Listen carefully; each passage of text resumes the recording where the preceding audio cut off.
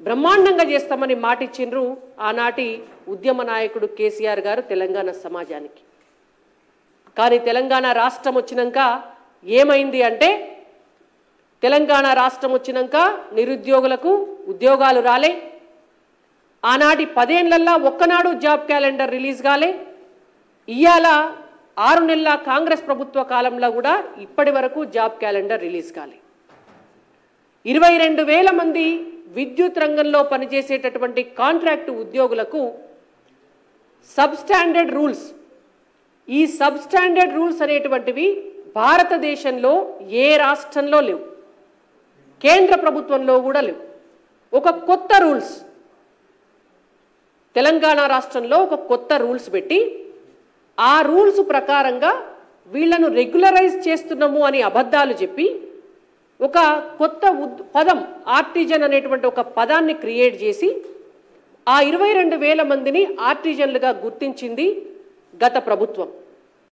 ఇవాళ వాళ్ళు నెత్తి నోరు కొట్టుకుంటున్నారు.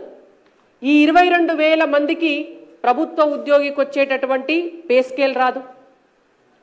ఈ ఇరవై రెండు వేల మందికి ప్రభుత్వ ఉద్యోగికి వచ్చినట్టుగా ఈపీఎఫ్ రూల్స్ వర్తించవు. ఈ ఇరవై రెండు వేల మందికి ప్రభుత్వ ఉద్యోగులకు వచ్చినట్టుగా ప్రమోషన్లు రావు. ఈ ఇరవై రెండు వేల మందికి రిటైర్ అయితే రిటైర్మెంట్ బెనిఫిట్స్ రావు. ఈ ఇరవై రెండు వేల మందికి రేపు రిటైర్ అయిన తర్వాత పెన్షన్ కూడా రాదు.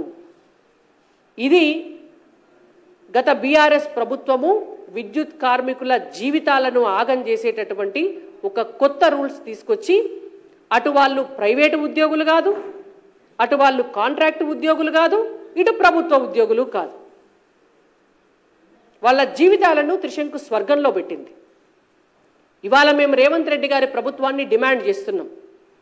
మీరు అవకతవకలపైన అవినీతిపైన చర్యలు తీసుకోవడానికి కమిషన్ వేయడం అనేటువంటిది ఎంత ముఖ్యమో దాన్ని పారదర్శకంగా నడిపించి గత ప్రభుత్వాన్ని గత ప్రభుత్వం వల్ల నష్టపోయినటువంటి డబ్బును రికవరీ చేస్తారా? వాళ్ళకు శిక్ష పడేలాగా చేస్తారా?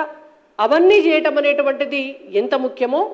ఇవాళ తెలంగాణలో ఉన్నటువంటి ఈ ఇరవై రెండు వేల మంది విద్యుత్ కార్మికుల భవిష్యత్తు వాళ్ళ ఉద్యోగాలను రెగ్యులరైజ్